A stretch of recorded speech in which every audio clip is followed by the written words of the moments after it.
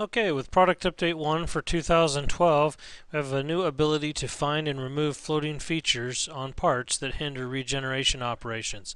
So, for example, um, if you have parts that, have uh, features that exist outside the part, uh, for instance, uh, maybe a cut that's uh, outside the geometry, the solid geometry of the part, uh, you can actually uh, run a, a search on those now. So you just right click on the part and go to find no face floating features. And it brings up a dialog that shows you that there's uh, two of those. You can choose to suppress them all or you can delete them all. We'll choose delete all. And then when you come back into the uh, scene browser here you can see that those uh, floating features are now gone. And this will help speed up uh, part regenerations if you have a lot of these. So you can use that uh, new function to uh, improve your performance in uh, product update 1 2012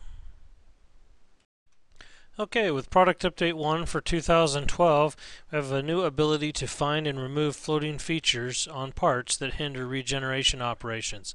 So, for example, um, if you have parts that, that have uh, features that exist outside the part, uh, for instance, uh, maybe a cut that's uh, outside the geometry, the solid geometry of the part, uh, you can actually uh, run a, a search on those now.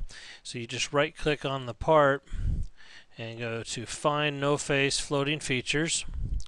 And it brings up a dialog that shows you that there's uh, two of those. You can choose to suppress them all or you can delete them all.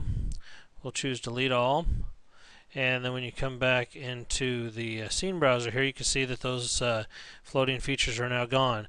And this will help speed up uh, part regenerations if you have a lot of these. So you can use that uh, new function to uh, improve your performance in uh, product update 1 2012